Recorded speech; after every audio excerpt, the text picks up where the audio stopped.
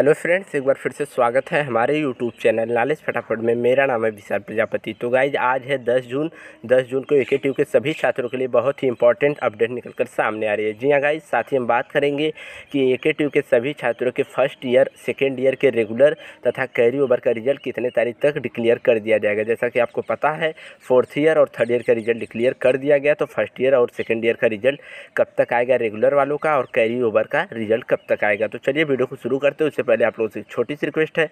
Channel पर नए हो तो चैनल सब्सक्राइब कर लीजिएगा बेल आइकन को प्रेस कर लीजिएगा। इस पूरी अपडेट आप देख सकते हो, ये ए के छात्रों के लिए आज के न्यूज़पेपर में बड़ी अपडेट निकल कर सामने आ रही है। दस जून की ये लेटेस्ट अपडेट आप यहाँ पर देख लीजिए, दस जून दो हज़ार इक्कीस। माई सिटी रिपोर्टर से अमर उजाला न्यूज़पेपर में इसे प्रकाशित किया गया है, पेज नंबर पाँच पर। आप देख सकते हो तो क्या अपडेट है, उसी के बारे में हम लोग जानेंगे, फिर बात करेंगे कि फ़र्स्ट ईयर, सेकंड का, सेकंड ईयर का रिज़ल्ट कब तक आएगा। तो देखिए, अब क्या अपडेट आई है कि अब छात्र हिंदी में पढ़ सकेंगे बीटेक कंप्यूटर साइंस जी हाँ गाइज़ बीटेक वालों के लिए बहुत ही ज़्यादा खुशखबरी वाली बात है, जितने भी बीटेक के छात्र वीडियो देख रहे हो, कम से कम वीडियो को लाइक करके दोस्तों में शेयर कर दो। बीटेक वालों के लिए देखिए, ये खुशखबरी की बात है कि अब बीटेक कंप्यूटर साइंस जो इंग्लिश में चलता था, अब ए के में वो कोर्स हिंदी में भी चलेगा। जी हाँ गाइज़ यहाँ पर आप देख सकते हो क्या लिखा गया है। ए के की विद्या परिषद की बैठक में कंप्यूटर साइंस को हिंदी भाषा में शुरू करने को हरी झंडी मिल चुकी है।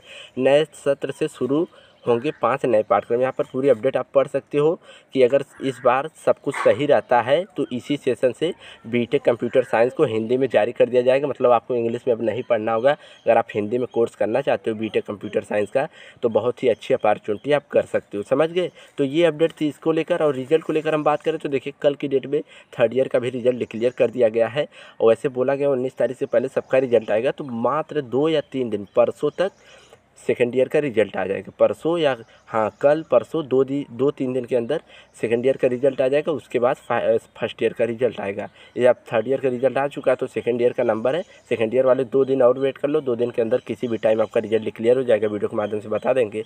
उसके बाद फ़र्स्ट ईयर का भी एक, दो दिन के अंदर रिज़ल्ट डिक्लियर हो जाएगा। और बात करें कैरी ओवर की तो कैरी ओवर का जब तक सभी लोगों का रिज़ल्ट डिक्लियर नहीं होता, तब तक कैरी ओवर का नहीं आएगा। रेगुलर का जैसे ही रिज़ल्ट डिक्लियर हो जाता है, उसके बाद कैरी ओवर के रिज़ल्ट आने शुरू हो जाएँगे। आई होप कि वीडियो अच्छी लगेगी वीडियो को लाइक कर दीजिए और चैनल को सब्सक्राइब कर दीजिए। आगे इसी तरह के अपडेट पाने के